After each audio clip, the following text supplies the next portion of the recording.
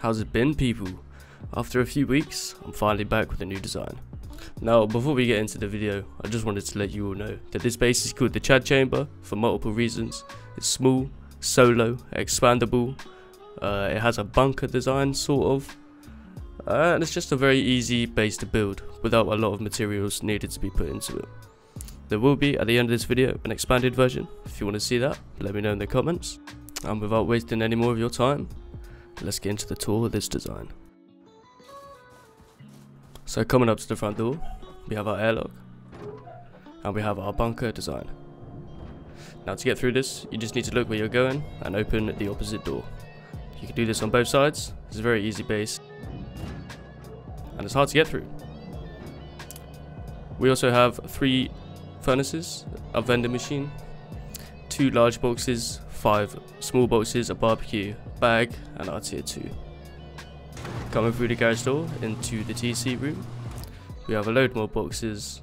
As you know, I like my storage. Uh, and a load of small boxes.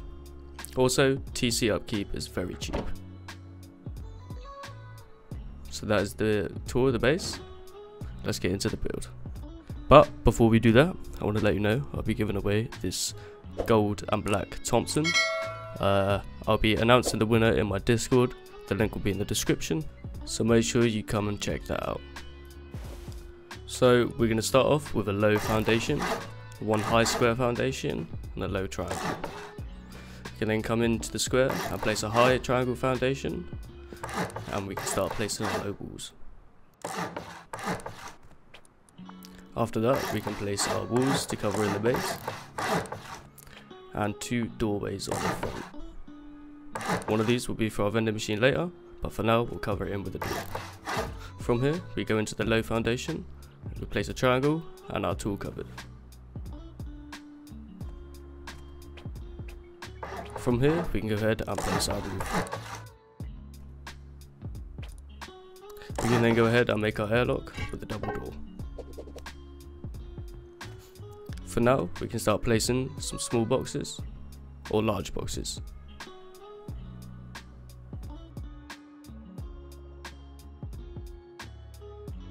We're only going to place two for now. We can come behind us, place our level 1 and our sleeping bag.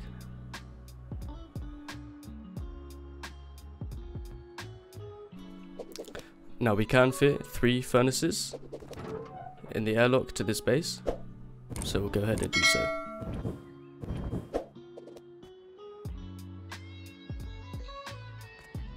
After that, once you have enough materials, we can come out to the front of the base, place a low triangle foundation, and start covering these in.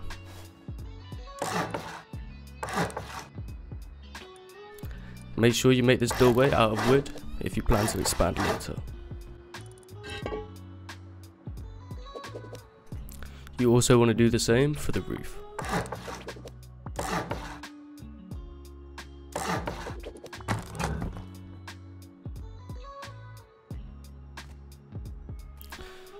Now we can get our bunker made. So we're going to use a triangle roof and it's a little bit awkward but if you are consistent you can get it quite easily. Now you can still fit through it right now whilst we go ahead and create our new airlock. You want the door swinging inwards like so. You can then go ahead and fit a floor triangle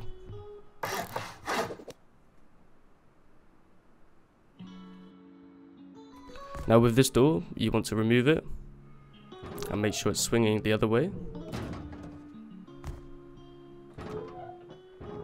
Push yourself through the gap and we can place the door the right way, like so.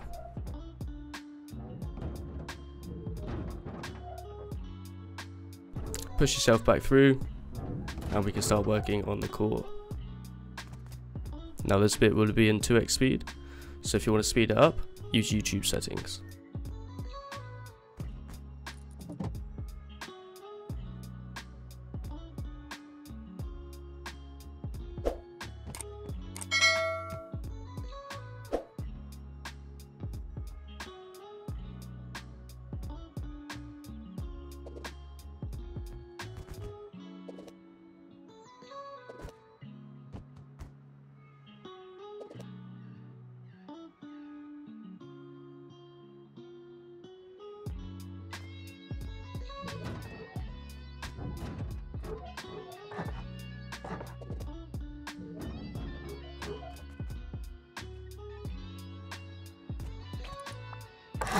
Now make sure you place this garage door before placing that last box, or you may have to take all the stuff out and move the box.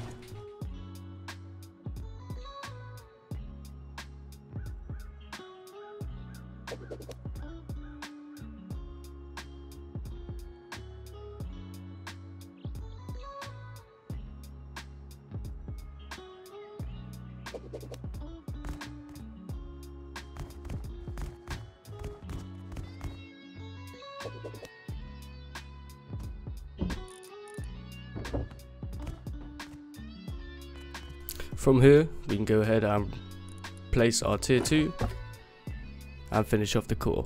Again, this is in 2 times speed.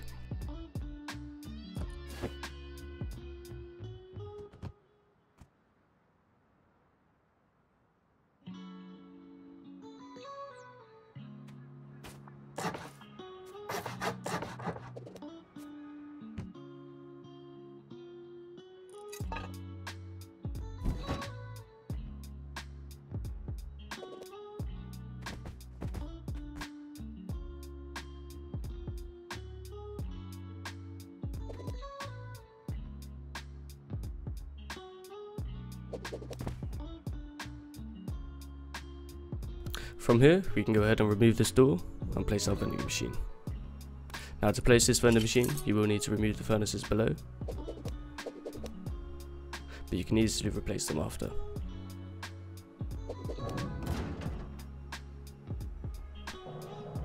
Like so. Now I'm not going to waste your time by replacing the furnaces, but we can move on to the next step. Now from here, it's just upgrading everything inside the base. Obviously, if you want to expand in the future, make sure you keep that wood. Now this is the final TC cost. Very cheap, very easy to maintain, especially if you have no plans in expanding. Now, you can easily put a lovely layer of honeycomb around this base if you have no plans to expand it upwards or outwards, which in turn, if the core is fully armoured, makes it a 15 rocket raid. You can also go ahead and make your doors armoured for all of that extra protection. Or if you maybe want to see me design something a bit like this for the 2x1, then let me know in the comments. Anyway, thanks for watching the video, and peace out.